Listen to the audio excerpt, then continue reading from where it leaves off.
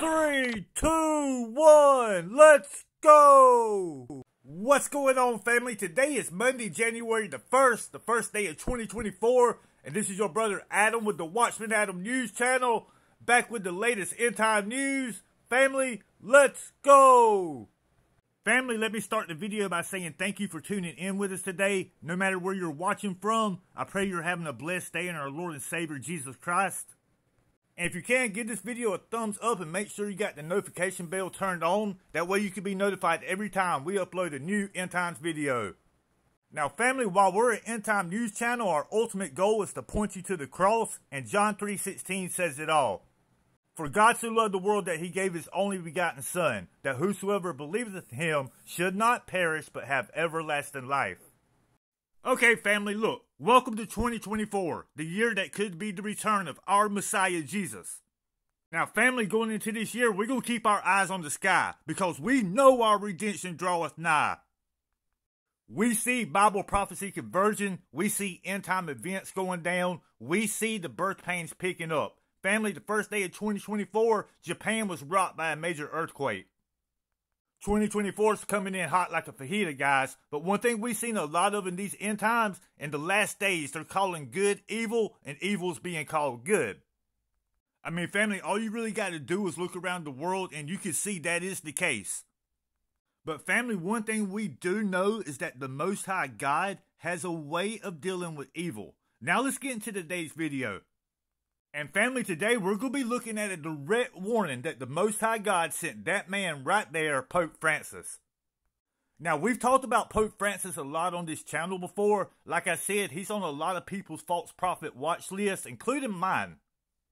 And family, since taking the job of Pope, well, he said some very strange things. He's really attacked the Bible. He said the life of Jesus ended with the failure on the cross. And family, who can forget the time he said that if aliens come down to earth, well, he would baptize them. This man is idolized and almost worshipped by the Catholic Church. And family, like I said, well, he's done some really such things. Now, he recently made headlines.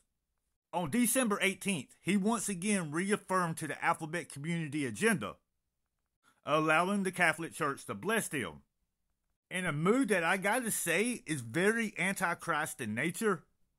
And family, he did all this on his 87th birthday on December 18th. But the day before that, he was sent a warning about this. Now, family, I don't think we can forget when lightning struck the Christ the Redeemer statue, or when lightning struck in Washington on Obama's birthday. Or, guys, who can forget when lightning struck the George Floyd mural? Now, family, what we're going to be talking about right here, this warning that was sent to Pope Francis, this happened in Argentina. Now, I want you to know Pope Francis is from Argentina. Okay, family, check it. That picture you see right there, that is a statue of St. Peter in Buenos Aires, Argentina. And you can see right there, he has a halo over his head and he's holding the keys to heaven. And we know Pope Francis was once called St. Peter. Well, family lightning struck this statue right here, this Catholic statue. Look at these headlines. This is from a blog called Taylor Marshall. Shocking twist. On Pope Francis' birthday, lightning strikes and halo disappears. Yes, family, this happened on his birthday, the day before he released that agenda. Now, this next headline comes from Popehead, and it reads, Buenos Aires lightning on the halo and keys of St. Peter Bergoglio at the end of the road. Now, family, I really don't believe in coincidences too much, and it's not a coincidence that the mainstream media is not really reporting on this. And I did some research, and this appears to be true. This is what Google said about it. Now, the claim is that lightning struck a statue of St. Peter on December 17, 2023, the day before FS was released by Pope Francis. Now, this happened on Sunday, December 17, 2023, when lightning pulverized the key and halo of the statue of St. Peter. Located on the facade of the Sanctuary of Our Lady of the Rosary of St. Nicholas, north of Buenos Aires, Argentina. So, guys, the day before Pope Francis releases this new agenda he's got on his birthday, this Catholic Church statue was hit with lightning in his own country.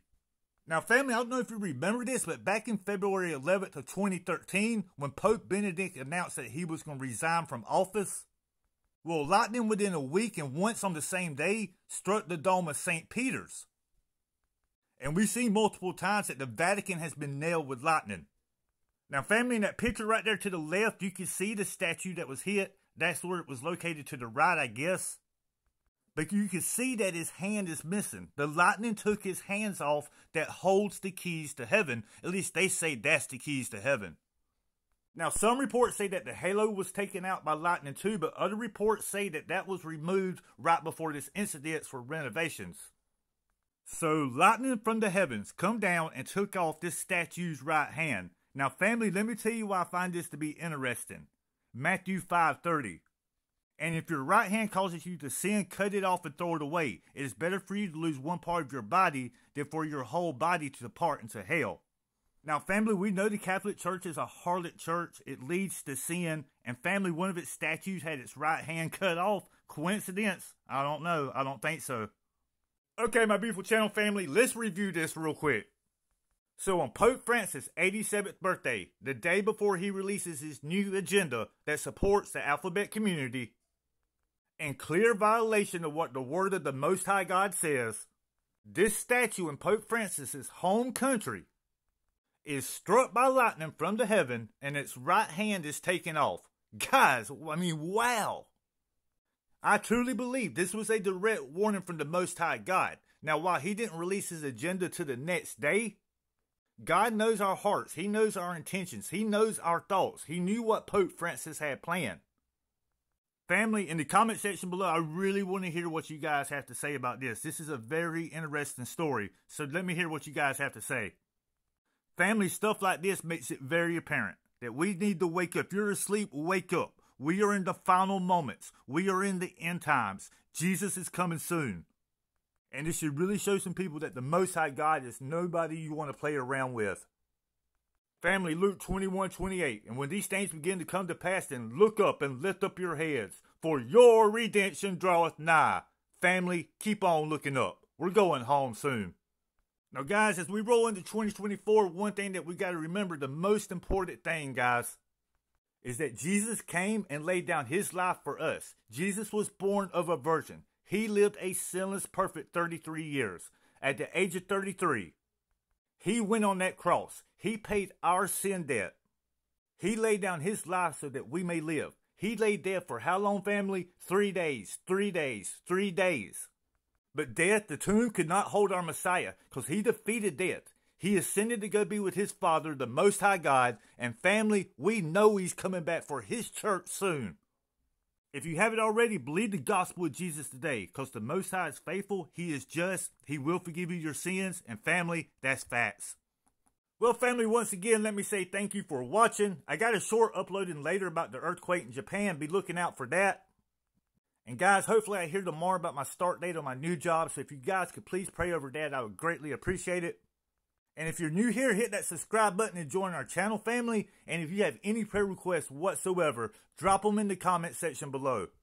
And guys, if any of you want to contribute to independent news, there's ways you could do so. Check the description box for donation links. But guys, as always, the biggest form of contribution you can give us is your prayers. Well, my beautiful channel family, the next time, Brother Watchman Adam signing out in three, two, one. I love you, and remember, let's go Harpazo! Later, guys. Keep on looking up.